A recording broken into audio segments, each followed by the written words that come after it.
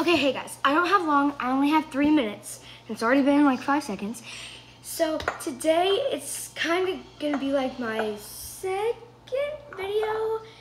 I'm gonna be trying something, but this time's gonna be mountain olives.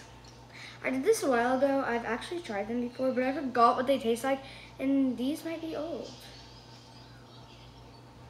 No. Oh my gosh, I can't open them. Okay.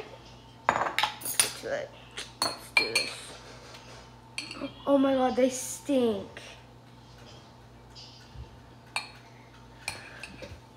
Got my water. Okay. Guys, please subscribe. I need this. Um, go tell your friends. Okay, three. and It's so small though. Oh my gosh, I'm just like trying to get out of this. It does not smell very good.